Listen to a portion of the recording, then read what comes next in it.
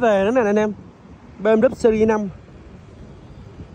đẹp hơn người mẫu nữa mà xe chưa rửa anh chị, hơi dơ.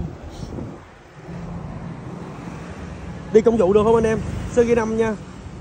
Quá ngầu luôn. Đèn, mới lên đèn đèn đèn lên hai mấy triệu mâm nữa nè. Quá đã.